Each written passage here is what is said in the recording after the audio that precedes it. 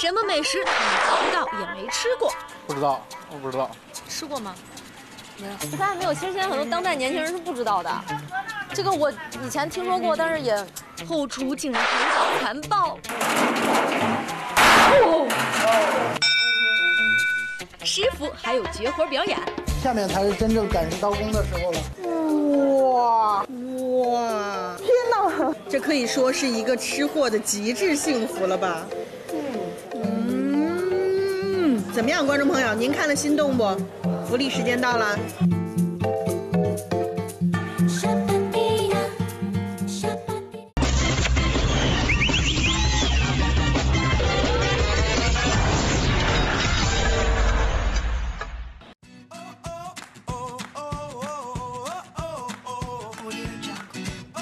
这一溜过去带个拐弯儿，全都是烧烤架子，对吧？对，是啊。找黄鱼是吗？啊，黄花鱼。黄花鱼啊，还有烤饺子，货真价实烤饺子是什么馅的？那个猪肉馅的。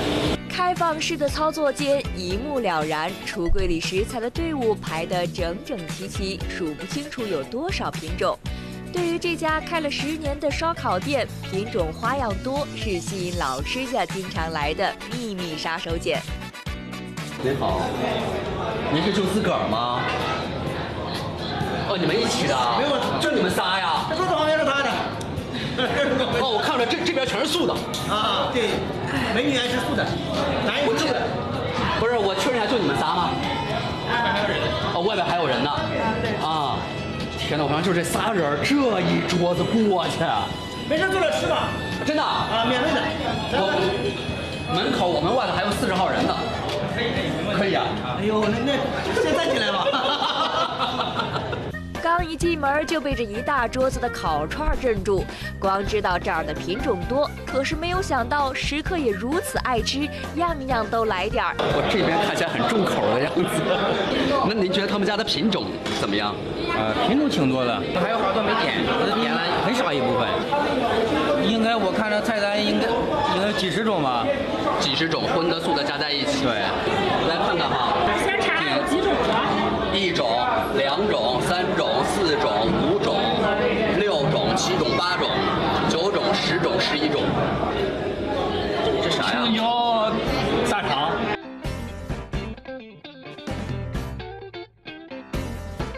椒大肠啊！你尝一下吧。我试。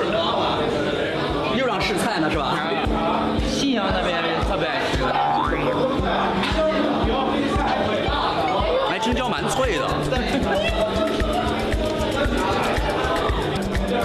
这个说句实话，还真没有什么那种重口味的感觉，就青椒会很脆，然后呢带一些那种鲜辣的感觉，然后呢这个大肠在里面还是那种筋筋的、有嚼劲的那一种，但是没有那种特别怪异的那个味道。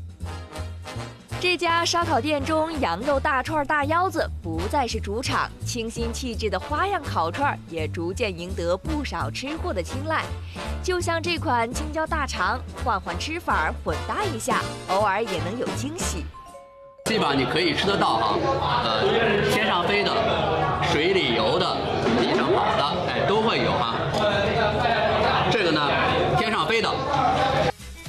金黄色的鸡翅排排坐，皮肉间撕扯开的油润，再一次勾引到了食欲。烤全吃的个头不小，在这里成为了女士小朋友的最爱。这样一家十年的老店，没点新鲜感怎么能行呢？花样烧烤的第三样呢，就是这里的烤猪腰。卖相虽说有点丑，但吃起来啥感觉呢？腰子呢？吃完了。啊，吃完了啊。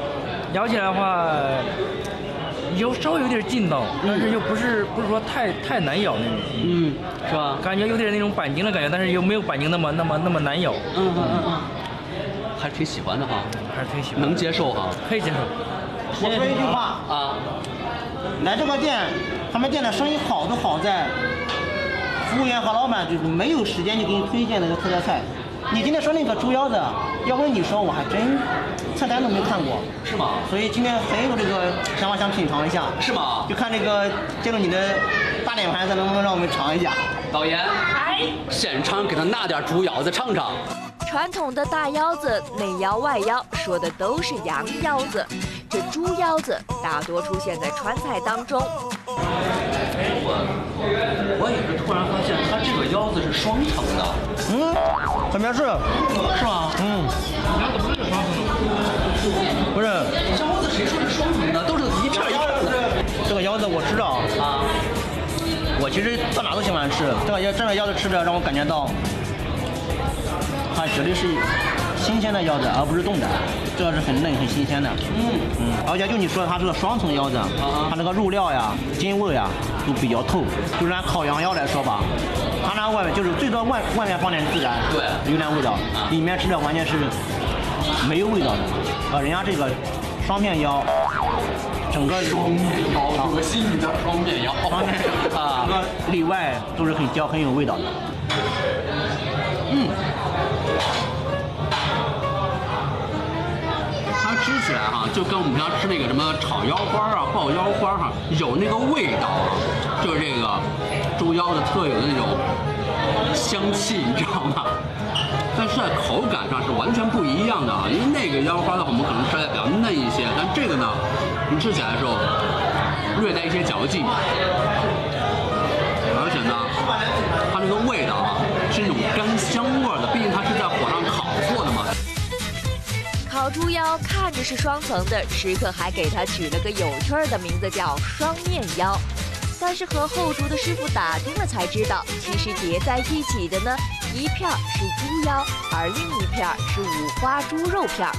这样搭配烤熟五花肉的肥油，烤出的油脂包裹着腰片，吃起来就不会很干，也更有嚼头。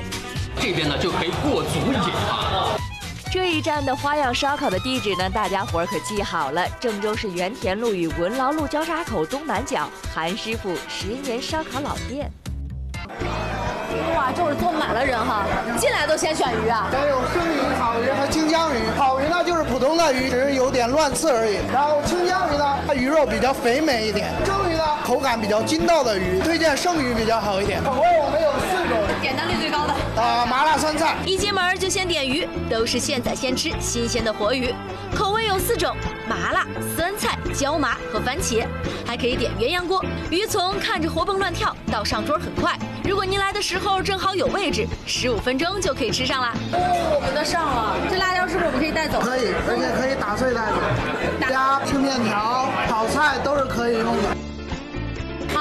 一盆啊！而且哈，离这么远，那个麻辣那个味道直扑鼻子，特别的香。以前吃的鱼火锅里边，下边有芹菜，有魔芋丝儿，是不是？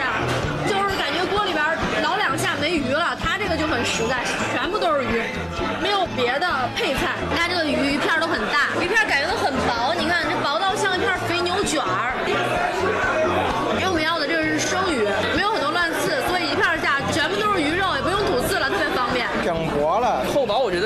它不不能算是特别厚，也不能算是特别薄。太薄的话你刀不起来嘛，没怎么煮的就就烂了。太厚的话那就是不入味嘛。这鱼很嫩，切的也很薄，看这个架势应该是手工的，但是感觉切出来的这个。厚薄的程度其实像机器的。鱼火锅最大的魅力，除了吃现宰的新鲜，最重要的就是无所顾忌，大口吃鱼肉了吧？鱼刺的多少取决于鱼的种类，但无论是什么品种的鱼，店家都可以以一种很薄的形式出现。鱼肉越薄，越容易进入汤汁儿，也就容易刺激味蕾，让人越吃越想吃。能把柔软的鱼肉这么完整的片出来，端上餐桌，这究竟是机器的功劳，还是手上的功力呢？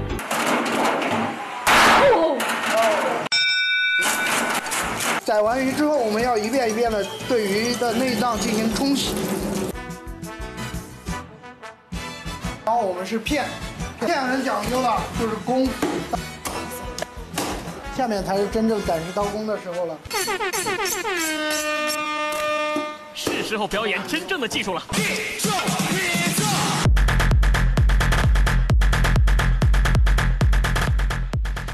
的鱼每一片都要一刀下，如果鱼片不是一刀下的话，它就会薄厚不均。透亮啊，看到了吗？透到可以看字儿哎。那你们这个片鱼片有没有这个数量的讲究？一条有啊，一般四斤多的话，我们会选择片鱼片在九十到一百片，因为我们这个鱼片不不仅有厚薄，也讲究大小。也要讲究它出锅时候的形状。一条活鱼进入到厨房后，需要好几道工序才能片成我们看到的鱼片儿。鱼肉太厚不好吃，太薄又容易碎。这其中的分寸，全凭师傅多年的经验和手感。我们看到那个片成这么薄的，在这个锅里煮过、炒过，到现在上锅，没有一片鱼肉是散的。它这个鱼肉比较结实，还是比较滑嫩的吧，也挺 Q 弹，挺筋道的。刀起来，第一它不会散，第二的话入口的话，它能整个一张的话都入口，所以说相对来说口感还是比较不错的。对，而且非常入味儿。我就比较好奇的是，他们怎么能够把这么大的一片炒的不烂，而且非常完整，鱼片非常入味儿。这个问题呢，就在于我们的腌制上。那腌制分两个步骤，一在于用浓度的盐进行清洗。让盐味完全把里面的粘液呀，还有血腥味全部洗出来，让鱼洗到嫩滑亮的程度。看它洗过的鱼要变得更滑、更亮，哦，更亮一点了，更有润泽感。接下来是我们的腌制，味道能不能入味全靠腌制了，是吧？这是在麻麻鱼，这样好上劲儿。来吃热喷井，鱼肉绝对是主角。在经历了师傅们各种绝活手艺后，才能达到入锅的要求。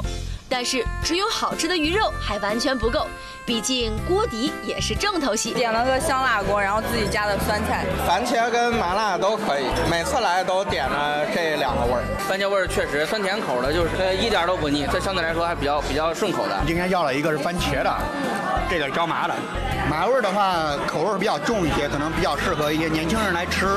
呃，像番茄的话，嗯，比如说老年人或者是胃不是很好的，或者有宝宝带的情况下，可以选择。番茄的啊，我看宝宝这番茄汁儿都浇米饭上了。对对对，我们家小孩其实特别爱吃这个，他用番茄汁浇到米饭上面，然后都用吃可多。这种算是网红吃法了吧？就是那个海底捞的有一种吃法，对对对，是的，是的。我比较喜欢吃这个椒椒麻味的。辣椒可以，但是麻椒非常味道非常不错，一般那种直辣不一样。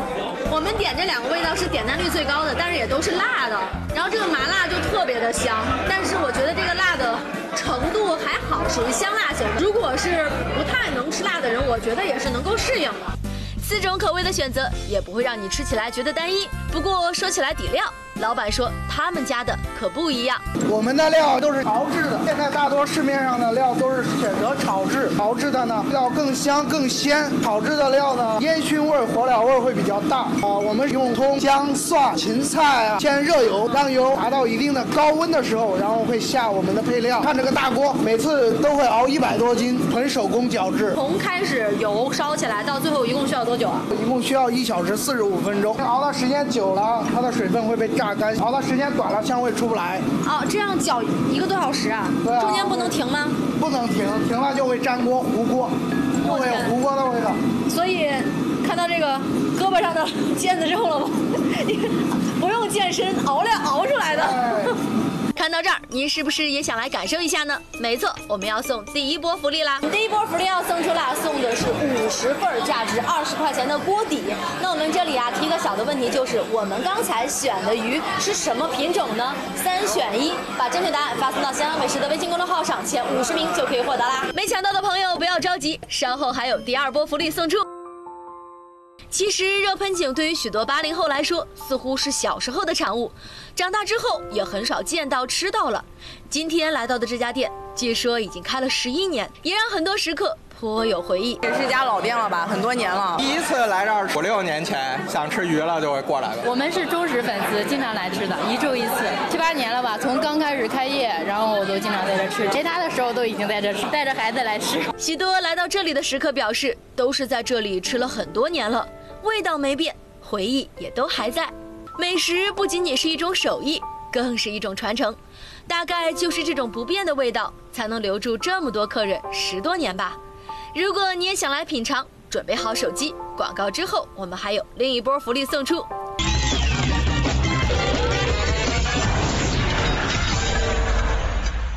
欢迎回到家乡美食，我们第二波福利要送出啦！是五十份的一斤鱼票，所有的鱼都是任选的。那么我们在这里设置一个小小的问题，问题就是我们今天点的锅口味是哪两种呢？把答案发送到香港美食的微信公众号上，前五十名就可以抢到啦。那这家店的地址你也记好了，郑州市管城街商城路交叉口向南三百米路西，新一代热盆景。导演，你说那个好吃的嘞？啊，来了来了，就这个啊，这啥呀？这好吃的？绝对好吃，你尝一尝。我尝一尝，这会要人命的。味儿足不足？嗯，那这味儿好熟啊！什么啊？这是？麻椒鸡。哦，对对对对对对，是吧？所以今天可以吃到麻椒鸡，对不对？在家就能做麻椒鸡。哎呦，只要学会了这碗料，就它。对。这麻椒鸡在家能做得好吗？那种鸡肉嫩嫩又不失嚼劲的口感，还有麻麻辣辣恰到好处的滋味，这在家能搞定？嘉宾说，只要掌握了今天的几个关键点，想做的不好吃都难。首先也是凉水下锅。哎，你今天选的这个是鸡腿。鸡腿。哦，那我看有的是不是在饭店里吃的就是整只鸡？那个不太好操作，所以我们说家庭版的会更简易、更好吃。我们就首选就是鸡腿啊，肉选好吃的鸡腿。对，来，我们先凉水进入锅中，然后先煮啊。对，要煮，加入这个葱圈。我今天用的是小葱，也可以选择用大的那个。打个葱结。对，然后加入八角。生姜片，同时我们再倒入料酒，让它去腥，而且提个鲜。大概是中火煮十五分钟左右。导演，这一整个鸡腿都放进去煮上十五分钟，恐怕煮不熟吧？而且还是用中火煮，这嘉宾是不是搞错了？一开始我也有这个顾虑，但是嘉宾说，要想鸡子的口感鲜嫩，煮至十五分钟之后，还需要一步非常关键的操作。那么现在已经到十五分钟了，我们可以关火了。好，那现在是不是就可以把鸡子捞出来了？可不敢，会半生的，会半生的。你要吃八成熟的吗？那为啥不煮熟呢？会烂掉，就会它会分骨，就像我们吃那个烧鸡、抖鸡，它会烂掉，变成丝儿状。我们要做的这个藤麻椒鸡的话，它肯定是需要一块儿状，外外面是熟透了，但是里面还嫩嫩的，所以我们用十分钟把它焖熟。原来让鸡肉保持鲜嫩的口感，不能一下子把鸡肉煮熟，而是用锅里的余温把鸡肉焖熟。这一招学会了吧？那趁着鸡子焖制的时间，接下来就让我们见识一下嘉宾处理配菜时的小窍门儿。我们现在水开了，关火，下入芹菜啊，要关火下入啊？对，这样的话它只是断一个生，然后不会显得特别的老哦。好，现在基本上差不多快十秒了，我们焯出芹菜，十秒钟就可以了，十秒钟就可以了，千万不能太多，太多的话就失去了那个脆的那个口感了。同时要保证它脆的口感，还需要一步。那我们现在还需要一步是什么呢？水，凉水，凉水倒入浸透芹菜，让芹菜彻底降个温，这样一冷一热，芹菜特别的脆哦，还能保持颜色哈。是的，好，基本上现在差不多就可以把它放入盘中打底了。那我们看到其实原材料很简单的，就是我们现在市场上有卖的这种朝天椒，我们把朝天椒首先第一步。要把它切碎，这个辣度是很高的啊。对，而且你要让它不能直接特别辣，还有一个窍门，就是切完了之后不要先调，而是直接先拿盐把它腌一下。哦，用盐腌起来，对，会非常的鲜，调出辣椒本身的那个鲜的那个回甘的那个味道。然后我们尽量可以用铲子这样子把它夹到这个碗里，不要上手。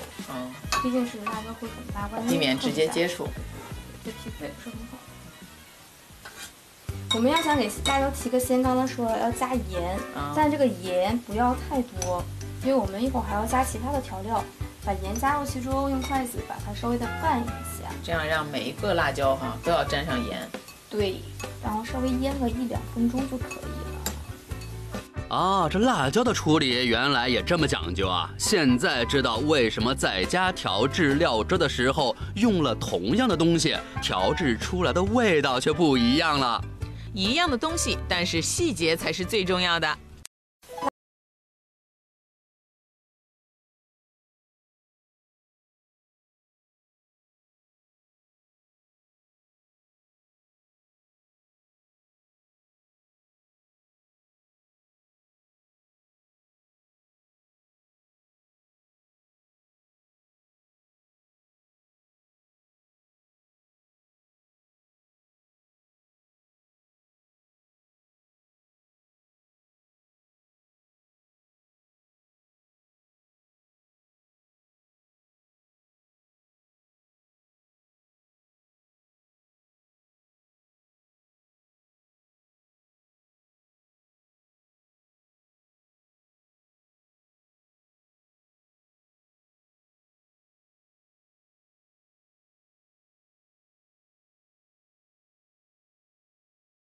麻椒鸡能不好吃吗？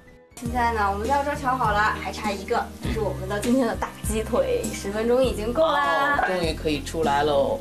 你看它是非常蓬的。哇，薄薄的。那我们鸡腿捞出来之后，还有一个最后一个步骤是什么？先过一下凉水，依然是让它的表皮更脆一点。哦，也需要过凉。对，过个凉。哇，这个鸡腿变得好胖啊！尤其是它的皮一定要给它翻下去啊，一定要那个皮脆。你看它其实里面这个骨头还是带血色，证明它里面是非常嫩的。啊，过一下凉水，这鸡肉筋韧的口感就出来了。嘉宾说，浸泡的时间不用太长，一两分钟就可以拿出来了。根据自己的喜好，把鸡肉改刀成块儿，就可以整齐的放入盘子里了。那这最后浇上麻椒汁儿，就可以开吃了吧？别急，这接下来还有一步，就是这麻椒鸡出味儿的关键。麻椒，你闻上去一股清淡淡的清香味。嗯。这个麻度好高啊，有点像那个我吃火锅的时候那个麻椒那个火锅底料，是那个东西，是那个东西，是吧？是的，我们可以直接把麻椒放在上面，用热油渍一下就够了。我们直接就可以撒在上面。如果是说你厨艺不高，我建议你可以直接把它放入油中煎一下、炸一下倒进去。但如果对自己比较有信心，我们可以直接把麻椒放在上面，用热油渍一下就够了。充分的热。然后这个油温是高一些还是要不是太高呢？要高一些，要高。对，如果是把麻椒放到里面，就小火的炸一下；如果是你要淋油的话，用油温一定要高一些。就是两种方式。香，对对对，这样才会香。你看，像这会儿的时候就已经可以了，油温已经足够了。好，热油浇一下。哇，哇，那个麻味儿立马就出来了，出来了。嗯，这最后的鸡油真的是点睛之笔，感觉麻辣鲜香的滋味一下子就出来了。怎么样，这道美味做起来还是很简单的吧？这做法确实简单又实用，我得回去试一试。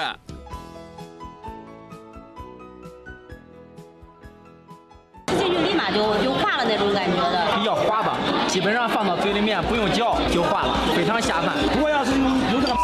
情况下，我可以吃三碗米，三三三碗米，我能吃三四碗，三四碗，好的很，都是棒棒的。我去到个酒店那吃完了，你干啥呢？再站这一会儿，你们说我们又到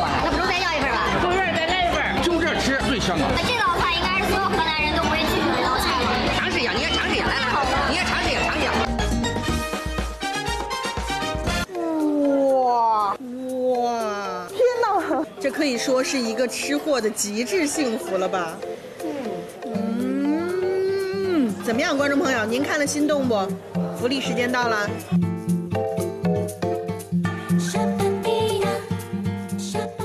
接下来要进一段广告，广告后的节目也非常的精彩，而且还有福利哦。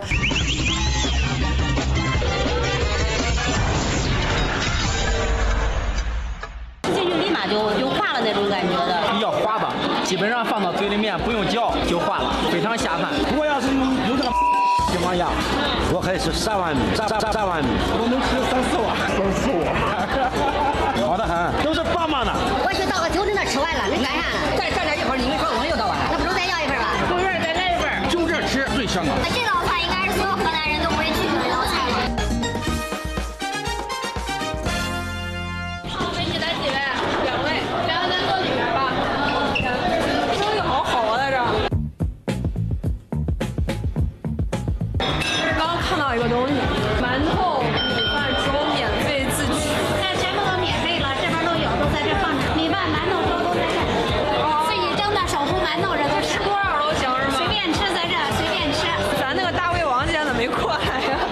吃了无力啊。这边是凉菜是吗？就凉菜十二块钱一份，喜欢吃里头的优惠政策吸引了，不仅馒头、米饭、落寞粥是免费的，凉菜也是十二元自助，可以自己随意搭配，盛上满满一大盘儿。对于大胃王们来说，这个地方应该是可以满足自己的胃口了。不过，光是菜品实惠，应该也不是这里生意火爆的主要原因。据说在这家店有一道菜算是镇店之宝，炒肉，入口即化，肥而不腻。呃，有史以来吃的这个梅菜扣肉是味道是最好的。如果要是样，我可以吃三碗米。就是看着有点肥，但是一点都不腻。我去倒个酒，那吃完了，你干啥了？再站点一会儿，你们说的东西又倒完了。那不能再要一份吧？特特别好，男同志没倒，女同志啪啪的都倒完了。那美女都是减肥的，不吃肥的。但是你看，我们来的，他们都吃完了。服务员再来一份，美容养颜，不腻。我感觉肥的吃完就不像咱吃那样，这个吃着不腻。没错，今天主角就是扣碗条子肉。别看这家店菜品很多，但每桌几乎都会有这道菜，有的桌子上甚至会点两三碗条子肉。听到食客们这么高的评价，我们也会忍不住点上一份儿，看看这里的条子肉究竟有没有这么神奇。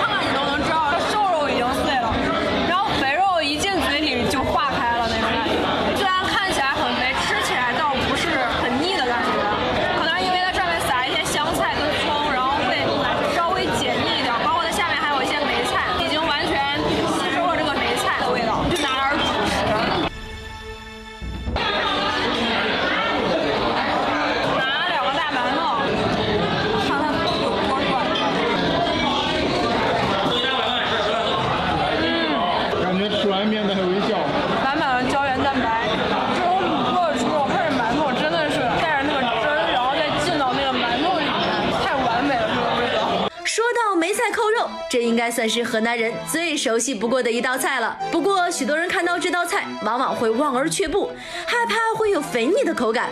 而这家店的梅菜扣肉却依靠它的软烂入味，一扫肥肉的油腻，即使软烂，但依然能保持完整的形状。看来在条子肉的处理上，师傅们应该用了不少心思。这个味儿肉是咱老家的那个土猪肉，每天从咱老家运过来，咱这个肉了没都是分层次的，一一个猪上它都是没多大一会儿，其他的地方都基本上都不能用。就像这这些肉基本上都打掉了，都不要。能看看这肉质上面，这厚度啊，就是达到这种厚度，太薄了，猪软的肉厚度不够；太厚了，猪软的肉也也都不行了。为了保持五花肉肥瘦均匀的口感，每次买来的五花肉，师傅都要把它修成四方块，多余的瘦肉要全部剔掉，在锅中先煮后炸，才能切片儿。这条子肉的汁儿，然后这颜色啦啥、酱油啦啥都在这里头的。十几种这个调料都是咱自己秘制的，这是咱这个高汤，这提香味儿嘛，香味儿、鲜味儿。长期的香，厨师的汤。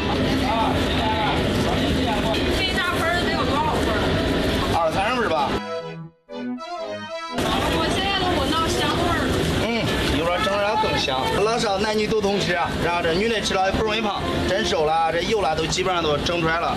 不容易胖，我有点不相信。嗯，吃了一次香两次。条子肉在入锅前必须经过师傅秘制的调料腌制，而这里秘制的调料中，点睛之笔就是一盆熬好的高汤，有着它的加持，才能让这里的条子肉味道更加鲜美。和其他扣碗不同，条子肉必须提前一天备料，花费的时间也是最久的。当时蒸完这个肉，口感啦，包括这个味儿啦，它都不够。这个肉必须得是过夜，都是焖夜。这个梅菜啦，包括这个肉的香味啦，包括肉的口感啦，吃的那比较比较滋吧。一炒那个肉，咦，可可得劲，你知道吧？刚出锅的条子肉带着梅菜的清香味儿，无论是单吃还是夹饼，都是一道非常过瘾的硬菜。不过来这儿吃饭，除了这道硬核的招牌，还有一样也非常受大家欢迎。这个汤鱼，汤鱼外焦里嫩，这个鱼肉特别鲜。等于说是外焦里嫩那种感觉，你知道吧？原来好像我没吃过这个，没吃过了，